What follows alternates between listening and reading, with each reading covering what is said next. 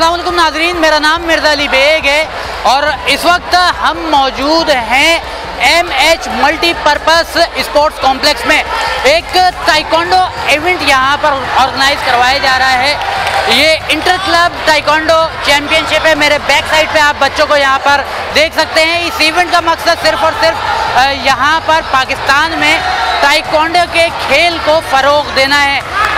इस इवेंट में जो बच्चे शामिल हुए हैं, जिन्होंने इस खेल में हिस्सा लिया है, बहुत से मेडल्स यहाँ पर जीते हैं।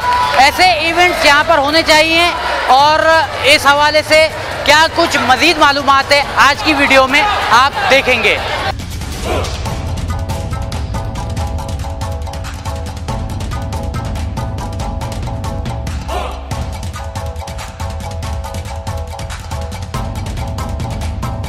इस ग्रास रूट लेवल पे हमें ये इवेंट कराने का मकसद ये है कि हम अपने बच्चों को एक जो आजकल जो पिछले सिनारियों में गया है, कोविड का आपको पता है कि जिस तरह लोग, बच्चे सारे वो हुए हुए थे, घरों में बैठे हुए थे और कोई कुछ इनकी एक्टिविटी नहीं थी। तो ये एक्टिविटी कराने का मकसद ये है कि यहाँ पर एक बड़ा अच्छा सा एक माहौल उनको दिया गया है, एक इवेंट दिया गया है, ताकि ये लोग सब प्रमोट हो और अपना जो एग्जेक्शन है, इनका जो फ्रस्ट्रेशन है, वो यहाँ निकालें और आके एक परफॉर्म करें। तो बच्चे, आप देखें यहाँ पर कितनी बड़ी तादाद है, जिसमें पेरेंट्स भी हैं प्लेयर्स भी हैं मेरे साथ ऑफिशल्स भी हैं।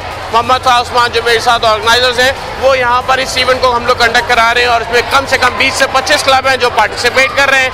और मैं अल्हम्दुलिल्लाह मैं मेरी फ़र्स्ट पोजीशन आई गोल्ड मेडल मिला है। और मुझे काफ़ी अच्छा इन्वायरमेंट लगा यहाँ का। और इस तरह की चैम्पियनशिप होनी चाहिए ताकि हमें अपना टैलेंट दिखाने का मौका मिल सके।